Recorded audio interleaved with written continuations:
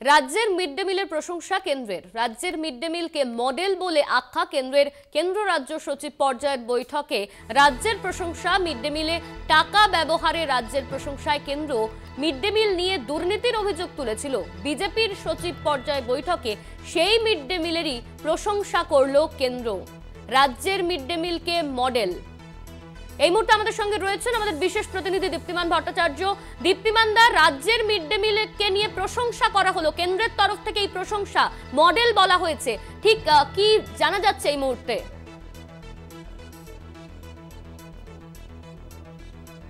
এই মুহূর্তে আমাদের যোগাযোগ বিচ্ছিন্ন হয়েছে। আমরা